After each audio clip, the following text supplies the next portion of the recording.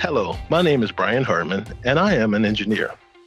I've been with Bechtel for more than 35 years and currently the project execution manager at the Mobile Launcher Project for the Artemis program here at the Kennedy Space Center. Today is International Day of Women in Engineering. Women engineers vary from country to country, and in the US, they are nearly 13% of the workforce, while in the UK, that number increases to about 16.5%. At Bechtel, women engineers represent about 16% of our global workforce. We know that diversity of thought helps us improve our business outcomes, and inclusive projects have better results. So, recruiting more female engineers can benefit us all.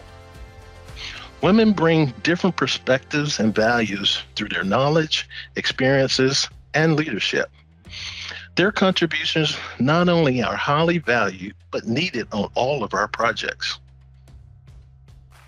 I want to highlight that many women in engineers are role models to inspire our young students, both girls and boys, to study science, technology, and math careers. Fostering this next generation of engineers is key to the sustained success of our future. Today, we celebrate the achievements and contributions of all our female engineers, colleagues worldwide. So I want to wish a happy Women in Engineering Day to all of our female engineering colleagues. Thank you very much.